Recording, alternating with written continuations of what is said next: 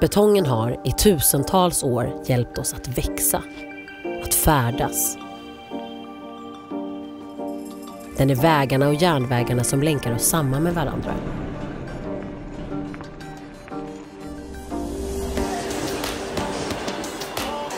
De där sakerna vi tar för givet, men som kommer från byggnader som behöver ett material som kan åldras och som kräver ytterst lite underhåll.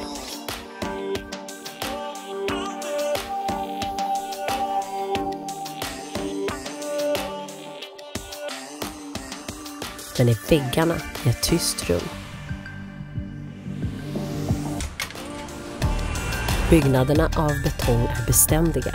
De står emot bränder, extremt väder och livets slitage.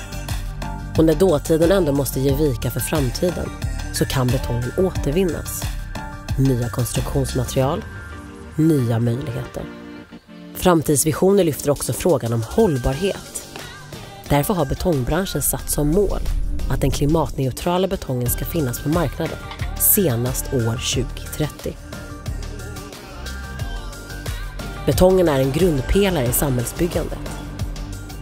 En förutsättning för bostäder och infrastruktur.